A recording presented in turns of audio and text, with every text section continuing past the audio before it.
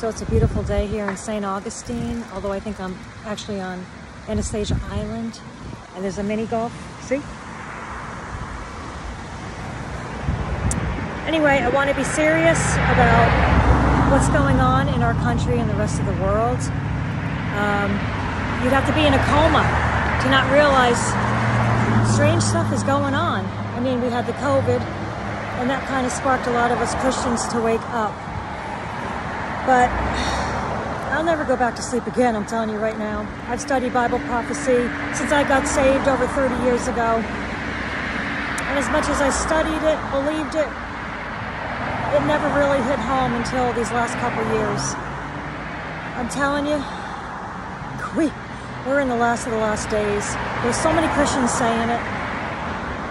I, I don't see how it could be any other way when we see what's going on the CBDC, and thank God we moved to Florida because that governor is doing all he can to keep it out of our state. I mean, I think even Texas, Texas is, I don't know. It was always Texas or Florida. That's where everybody was going to move to. I'm telling you though, there's only one way up, and that's Jesus Christ. If you don't if you're not saved, if you've never trusted Jesus Christ as your personal Savior, you better do it now. John 3.16, that's the most basic Bible verse to point you to. Um, you know, when, when Paul was in jail and the big earthquake hit in the book of Acts and the jailer was terrified he was going to be in trouble because Paul and them, you know, they were no longer in the chains in the jail. But nevertheless, he said, sirs, what must I do to be saved? And what did they say? Did they say, oh, you better go join the Catholic Church, go join the Mormon Church, join this church? Oh, no, nope, nope. When he asked them, he was desperately wanting to know, Sirs, what must I know? Or what must I do to be saved? What did they tell him?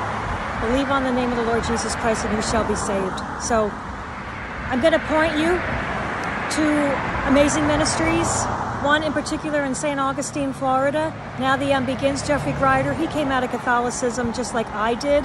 He's from New Jersey. I mean, you can't make this stuff up. He went to an all-boys Catholic school. I went to an all-girls uh, Catholic school. We were both lied to. We know what the truth is, and it's not in the Bible. They never tell tell you the truth.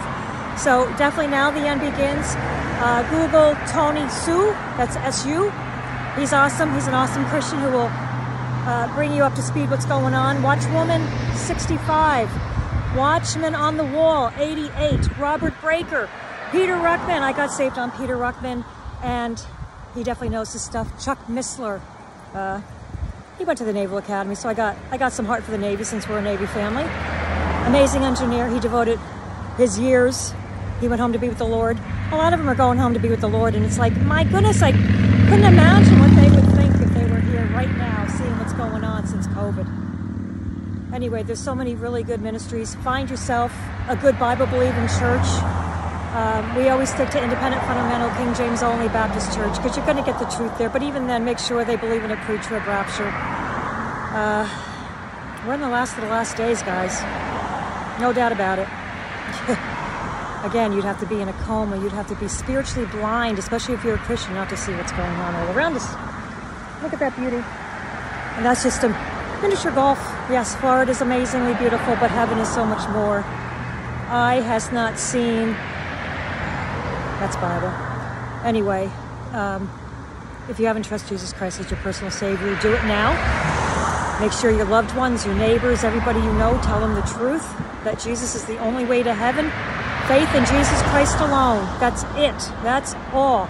Believe in Jesus Christ. He did it all. There's nothing we can do. Um, nothing we can do to get saved, stay saved.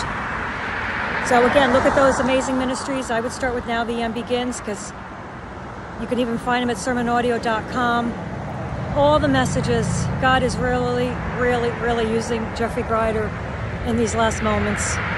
Get out there, start studying the Bible, and get saved. New World Order, One World Government, currency, One World, currency, chip in the hand. Well, it's probably a chip. Uh, Mark of the Beast, Revelation 13, in the right hand or in the forehead. You don't want to be left behind for what's coming down here. And you don't even have any assurance. You could take your ne- next breath and not be saved to go to hell. So don't believe what the Pope says. The Pope's saying now there is no hell. Well, Jesus warned about hell more than he talked about heaven. The Bible's true. Stick to a King James Bible, though. The rest of these translations, they, we're in the last days. Deception, deception, deception. Get saved now.